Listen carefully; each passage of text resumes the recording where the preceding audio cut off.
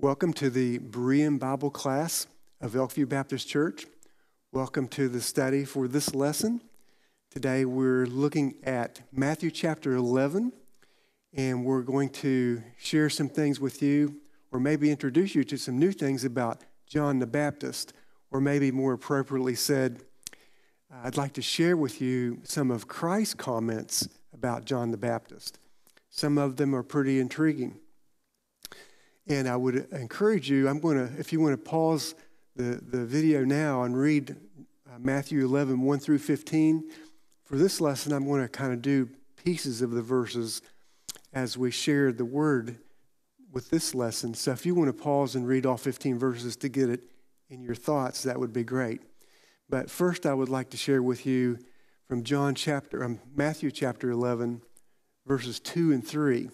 And this occurs after Matthew 10, where there was some uh, instructing of the disciples, both now and in the future. Then it transitioned with Jesus preaching in their cities. And then Jesus gets a message from John the Baptist. And we pick that up in Matthew chapter 11, beginning with verse number 2. And it says, And when John had heard in prison about the works of Christ, he sent two of his disciples and said to him, Are you the coming one, or do we look for another? This is a really intriguing question by John because of his knowledge of Christ, and I'm going to share that with you through the lesson.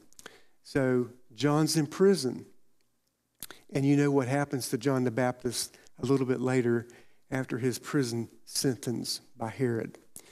So, first of all, let's make uh, uh, some observations about John the Baptist to get a little bit familiar with, again, who he is. John the Baptist, his father was Zacharias. He was a priest of the division of Abijah, so meaning he was a Levite. His mother was Elizabeth, a descendant of Aaron. So, again, the priestly line. Uh, John the Baptist's birth was announced and his name provided by the angel Gabriel. That's in Luke chapter 1, as well as some of the other things there. Some other very uh, interesting things about Elizabeth, John's mother, was that she was a relative of Mary, the mother of Jesus.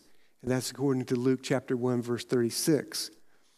And also, Mary visited Elizabeth for about three months during her pregnancy with John the Baptist. And when that visit was taking place, Elizabeth, John the Baptist's mother, called Mary, well, called Mary's baby Lord. So, another interesting thing, meaning Elizabeth knew who Mary's baby was going to be, meaning John the Baptist's mother knew that Jesus was Mary's baby and Lord. So, just to, to think about that, some interesting things. And let's move on to the next slide. Uh, in Luke 1, the angel Gabriel makes several statements about John the Baptist. And most of those are pretty familiar. One was he would be great in the sight of the Lord, that he would drink no wine or strong drink, that in his ministry he would turn many to God, and his task, part of his key mission, was to go before him, meaning to go before Christ, according to Luke chapter 1, verse 17. And let me go ahead and read from the slide, Luke chapter 1, verse number 17.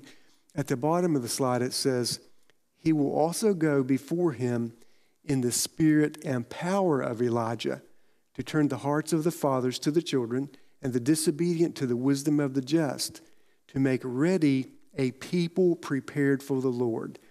So, in that particular verse, it's pointing out that John the Baptist was coming in the spirit and power of Elijah, not as Elijah. So, uh, let's move on to the next slide. Some observations about John the Baptist. Uh, his ministry was located mostly in the wilderness of Judea along the Jordan River. Uh, it's interesting that his food, according to Matthew 3 4, was, consisted of locusts and wild honey. In his clothing, he was dressed in some camel's hair and had a leather belt, according to Matthew 3 4. And I would make the observation there that that was somewhat similar to how Elijah was dressed and maybe where he ministered as well. So let's go on and make other observations about John the Baptist. One, it's really clear from Scripture that he was a prophet. And Luke 1 76 calls him a prophet of the highest. And then let me read and share with you some more verses from the chapter we're in for today's lesson from Matthew chapter 11. And these are Christ's comments about John the Baptist. It says, But what did you go out to see? A prophet? Yes, I say to you, and more than a prophet. For this is he of whom it is written, Behold, I send my messenger before your face, who will prepare your way before you.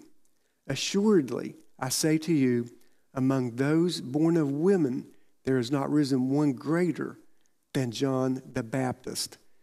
So you can see there from Christ's comments about John the Baptist, he puts him up very high.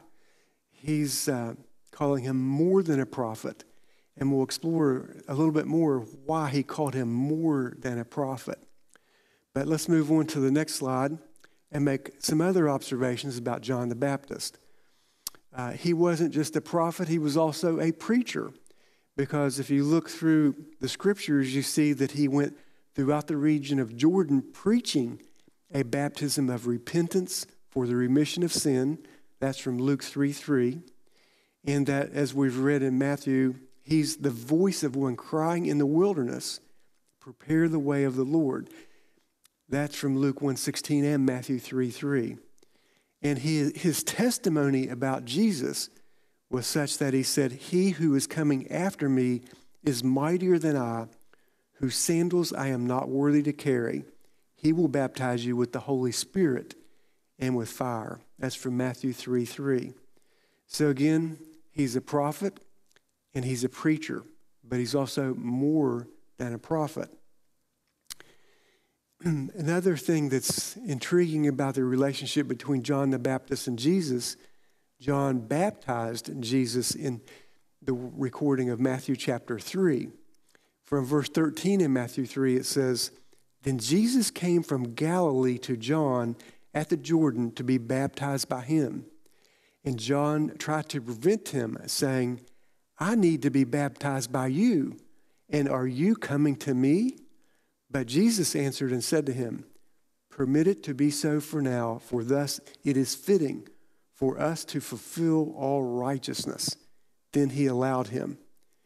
And let's move on to the uh, next slide and read two more verses from Matthew 3. Verse number 16 says, When he had been baptized, Jesus came up immediately from the water, and behold, the heavens were opened to him, and he saw the Spirit of God descending like a dove and alighting upon him. A voice from heaven saying, This is my beloved Son, in whom I am well pleased. And just to observe there, like a dove means in bodily form of some type. And that's from Luke 3:22.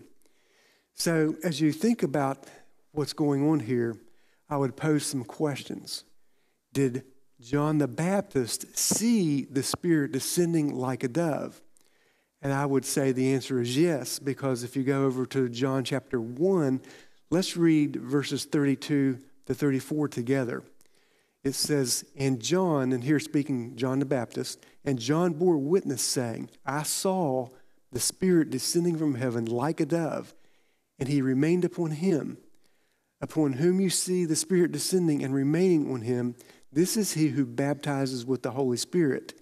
And I have seen and testified that this is the Son of God. So, in the words of John the Baptist, he's testifying that Jesus is the Son of God and that he saw the Spirit descend upon Jesus. And here in John chapter 1, uh, an observation that here we have the Apostle John reciting the testimony of John the Baptist as recorded in John chapter 1, verses 32 to 34. So let me ask another question. at Jesus' baptism in chapter Matthew 3, was God's voice audible? And I would propose that the answer is yes. From the context of the way it was given to me, it seems like it would have been yes.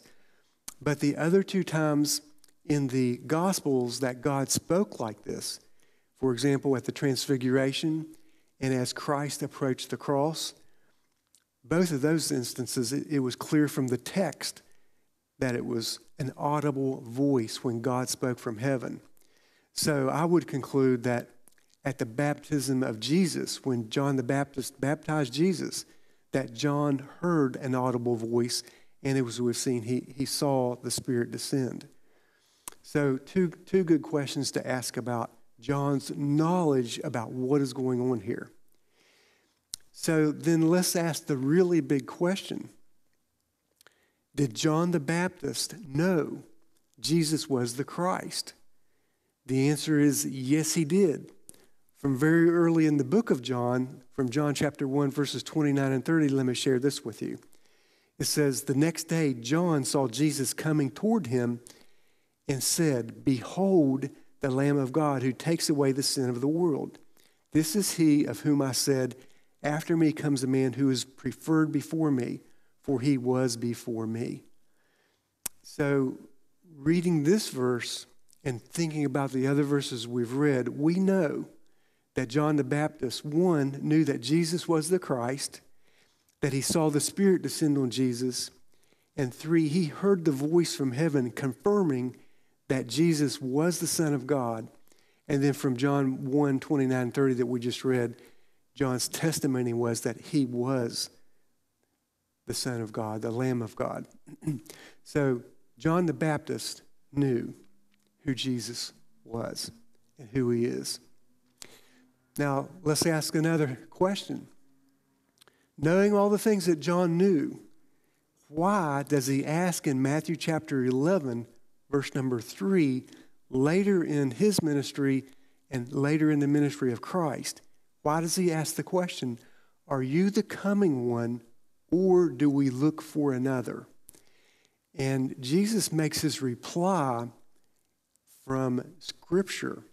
In Matthew 11, 5, John, uh, Jesus' uh, response to John the Baptist is the blind see and the lame walk, the lepers are cleansed and the deaf hear, the dead are raised up, and the poor have the gospel preached to them. So that's Christ's reply to John the Baptist's question through his disciples. That's the evidence that Jesus gives John to say, I am the Christ, I am the Messiah. And of course, those words from Jesus were from the Old Testament, the book of Isaiah. If you look there on the bottom of that slide from Isaiah 35, 5 and 6, it says, The eyes of the blind shall be opened, and the ears of the deaf shall be unstopped. Then the lame shall leap like a deer, and the tongue of the dumb sing. Then from Isaiah 61 1, it says, The Lord has anointed me to preach good tidings to the poor. He has sent me to heal the brokenhearted. so it's clear that Jesus gave John the Baptist an answer that was from Scripture, and that John the Baptist would understand the answer is saying, I am the Christ. So, let me ask again so, why does John ask the question, Are you the coming one, or do we look for another? Because you see, from Scripture, we know that John the Baptist already knew the answer to the question. If you look at Luke 7:18, John's own disciples came to him and reported concerning all these things, meaning John the Baptist knew all these things. So, why does John ask the question? Well, remember where John the Baptist is at. He's in prison, and he knows already that he must decrease and Jesus must increase. So he may have been, a, been at a point in his life where he needed some assurance because he was facing the hour of death. And that may have been weighing heavily upon him. So Jesus gave him that assurance. So we know that in prison he was beheaded uh, at the word of Herod. So, word of comfort to, to John the Baptist from Jesus, his Lord. so, let's address a couple more things that Jesus has pointed out here about John the Baptist. Jesus says that he's more than a prophet from Matthew 11, 9, and 10. Uh, and then he calls him his messenger. But two points. Point number one John the Baptist was Jesus' messenger and forerunner. According to Malachi, it says, Behold, I send my messenger, and he will prepare the way before me. And we know that John came in the spirit and power of Elijah, but he wasn't Elijah. But he was that forerunner or messenger. And then, number two, why was he more than a prophet? It says in Scripture, he prepared the way. From Isaiah 40, verse 3, it says, The voice of one crying in the wilderness, Prepare the way of the Lord, make straight in the desert a highway for our God. And that sort of mirrors Matthew 11, 10, Jesus' comments about who John the Baptist is or was. And it says, He's his messenger or the one who will prepare the way. So, two points about why John the Baptist, according to Jesus, was more than a prophet. And then let's think more about Jesus' unique description of John. And from verse 14 in Matthew 11, Jesus says, And if you are willing to receive it, he is the Elijah who is to come. What that really means is if they're willing to receive Jesus as Lord, if they're really ready for the kingdom, then John would be the Elijah who is to come. But the reality is, Jesus was rejected. Thus, according to these words, Elijah is yet to come, and even yet to come to us. and I would observe with you that John confirmed to the scribes and Pharisees that he was not Elijah. In John chapter 1, verse 21, it says, And they asked him, What then? Are you Elijah? He said, I am not. Are you the prophet? And he answered, No. So John the Baptist clearly in Scripture says, I am not Elijah, but he is one who came in the spirit and power of Elijah. So you think, though, about Jesus' reference here to John and then the prophecy, and I would observe with you from Malachi chapter 4, verse 5, the prophecy about Elijah. Let me share that with you. It says, Behold, I will send you Elijah the prophet before the coming of the great and dreadful day of the Lord. And I believe that that prophecy in Malachi 4 5 is fulfilled in the book of Revelation in chapter 11, verse 3. And let me share with you those words. It says, And I will give you power, and I will give power to my two witnesses, and they will prophesy 1,260 days clothed in sackcloth. So the 1,260 days is the first three and a half years of the seven year tribulation period recorded in the book of Revelation. So Elijah the prophet will come, and I believe he will be one of the two witnesses that are presented and, and shared in Revelation chapter 11, and that will testify about the Lord for three and a half years. So that's how that prophecy, I think, connects together. John the Baptist cl- clearly came in the spirit and power of Elijah. He was not Elijah. Elijah will come, but he won't come until the beginning of the seven year tribulation period. So, as we wrap up this lesson, because of these truths, we should, like John the Baptist, be assured that Jesus is the Christ. With all that I am, I believe that. And then we should live like Jesus is Lord. So, good truths to live by.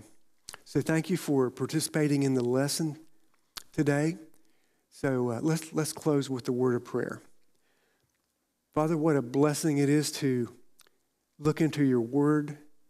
We thank you, Lord, for the testimony of John the Baptist. And Lord, that uh, in a difficult hour, he needed a word of assurance from Jesus. And we thank you, Lord Jesus, that you gave it.